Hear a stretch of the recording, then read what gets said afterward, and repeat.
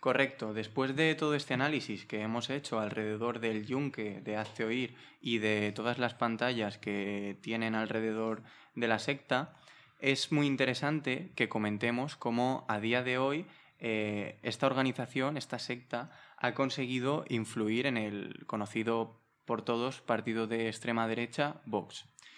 En esta vinculación encontramos desde recaudación de fondos por parte de Hazte Oír, eh, gracias a las aportaciones de numerosos empresarios, como desveló Wikileaks, para la campaña de Vox, hasta premios de la organización Hazte Oír a numerosas personalidades de la formación de extrema derecha. Eso, los premios, la verdad es que han sido muy comunes y además hay todo un entramado, ¿no? Porque cuando de repente es eh, premio a este presentador de extrema derecha por la organización no sé qué libres. Pues bueno, enseguida escarbas un poquito y o es Acteur y el Yunque, o es la Fundación Atlas, o enseguida tienen toda su red de premios y de aliados.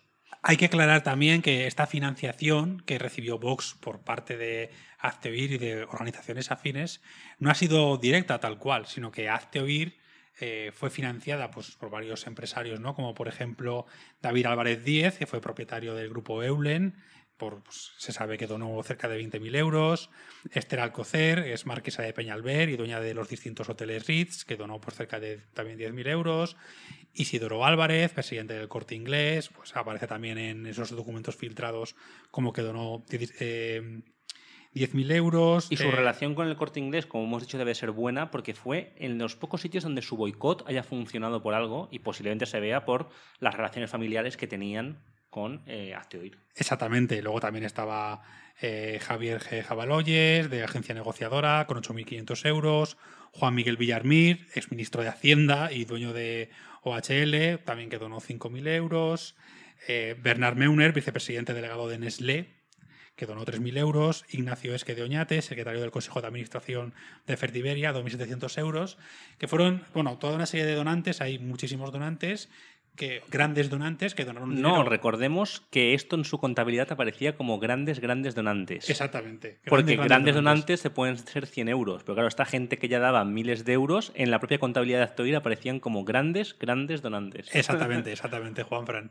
Eh, donaban dinero a ciertas campañas, que luego evidentemente de ahí nutrían a Acteoir, a todo ese dinero que recibía, ¿no? Más de un 30% de la financiación de Acteoir pues, provenía de, de donaciones privadas y claro, si vemos, si vemos que después Acteoir utilizaba estas campañas y sus medios y sus organizaciones ligadas para para Vox y para dar rienda suelta a su discurso, no es muy difícil hacer una relación entre, entre ambos, ¿no? Y si luego Vox coloca en puestos importantes, eh, en cargos públicos y en listas electorales a gente ligada a Acteoir y a Junque, pues tampoco es muy difícil mm, establecer una relación lógica entre ambas organizaciones a nivel económico, a nivel político e incluso a nivel social. Correcto, Adrián. Eh, como hemos visto, la lista de donantes a la organización Hazte Oír era extensa, pero también lo es la lista que acabas de comentar de miembros de Hazte que han entrado en las instituciones políticas gracias a Vox.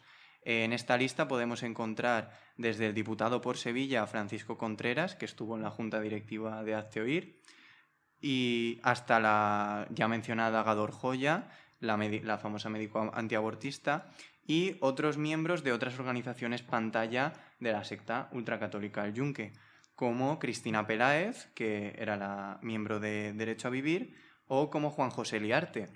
Este diputado por Murcia, en la Asamblea de Murcia, se hizo famoso recientemente en la moción de censura que le hizo el Partido Socialista al PP porque tras su escabrosa salida de Vox, después de entrar gracias a ellos en, en la Asamblea de Murcia, le dio su apoyo al presidente de Murcia y lo mantuvo en el poder. Así que vemos una larga lista, ¿no? Bueno, y más larga de lo que has dicho, porque la verdad es que tenemos a presuntas personalidades, o sea, personalidades, mejor dicho, presuntamente del yunque eh, ligadas a Vox, ¿no?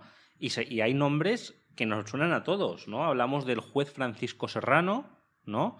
Eh, el que fue la estrella en Andalucía hasta que ya tuvo que dimitir por la, prevaricación, por la subvención de dos millones de euros que desapareció en una de sus empresas. Eh, luego, por ejemplo, a Ignacio Garriga, eh, un referente en Cataluña de Vox, ¿no? Y, Y no nos olvidemos del famoso matrimonio Iván Espinosa de los Monteros y Rocío Monasterio, efectivamente, que también han apuntado informaciones a que eran miembros del Yunque. Así es, hablamos de que de la cúpula inicial, ¿no? De Ortega Smith, Rocío Monasterio, Iván Espinosa y Santiago Abascal, la mitad parece que vienen del Yunque. Y respecto a todo esto que estamos comentando, es preciso hacer una diferenciación entre la lista de supuestos miembros del Yunque que diferentes investigaciones han señalado, eh, en la que se encuentran, como hemos comentado, Iván Espinosa, Rocío Monasterio, Francisco Serrano y demás, y los diputados y diputadas que han entrado gracias a Vox en las instituciones, que son probados miembros de Hazte Oír, cosa que no puede negar nadie. Y además de eso, yo creo que hay personalidades que además est- que están cogiendo mucha fuerza, ¿no? Hablamos, por ejemplo, de Macarena Olona, que es una estrella en alza en Vox, ¿no? Y que también es un presunto miembro del Yunque. E incluso otras personas que están en segunda línea, eh, cómo dirigen un poco la política interna de Vox, ¿no? Hablamos de Santiago Antonio Rivas, ¿no? Que es vicesecretario de Juventud, posiblemente con mucho que ver con Cañas por España, o con José Manuel Méndez, que es coordinador nacional. Sí, además es muy curioso, ¿no? Porque precisamente algunas de las personas que hemos comentado sí que es verdad que tienen una postura muy radical y muy conocida en esta línea, pero en general eh, hay otras que no. Por ejemplo, Iván Espinosa de los Monteros tiene un perfil en general bastante bajo. Y Vox también en general como partido, mm, es difícil decir que tiene una postura muy agresiva en lo, en lo católico, ¿no?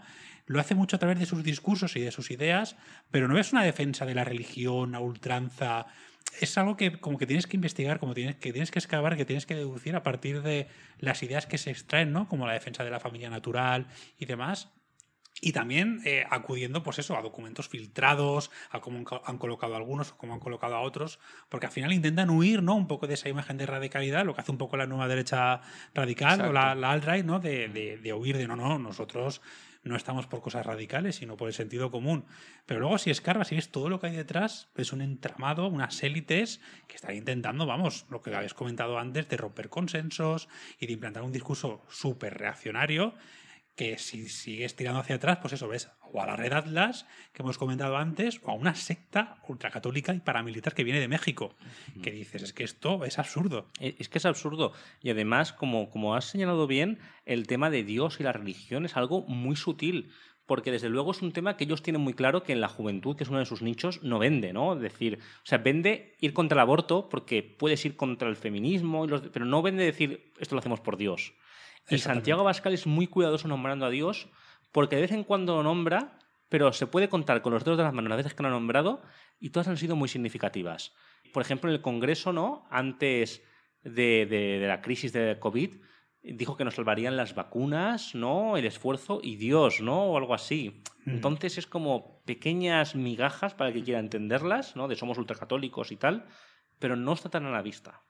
En mi opinión, esto responde, también como ha dejado entrever Adrián, a que Vox ha, ha tenido recientemente un crecimiento muy exponencial y ha considerado que la mejor forma de extender sus ideas, y ideas muchas veces católicas, eran no hacer concretamente referencia a Dios, sino camuflarlas a, la hora de, de romper consensos y extender así estos valores. Al final sí que la estela de y de estas organizaciones pantallas, ¿no? Pues eso, ¿no? Pues luchamos por la ética, por la libertad, por la verdad, ¿no? Y al final, pues bueno, ves aquí pues que se- te debaten hasta, la- hasta el divorcio, ¿no? Claro, claro, claro, claro.